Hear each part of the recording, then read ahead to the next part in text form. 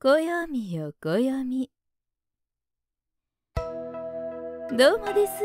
つくもやよ。ほなまあざっくり今日の暦言うていこか。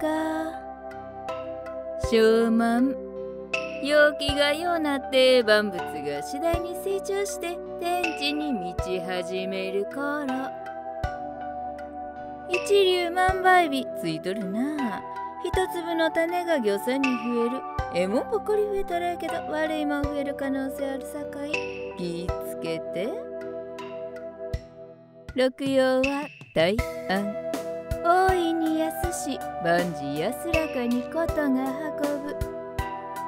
今日の干支は土のとう土のとが影の土。ううさぎが影の木や境におよ五行の流れは火の根が土を締め付けるいうことで総国物事が順調にいかへんいうけよ。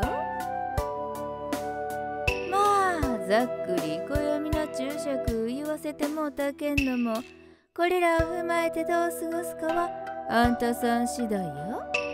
ゆるゆるとええ日になるとええね。ほなまたね。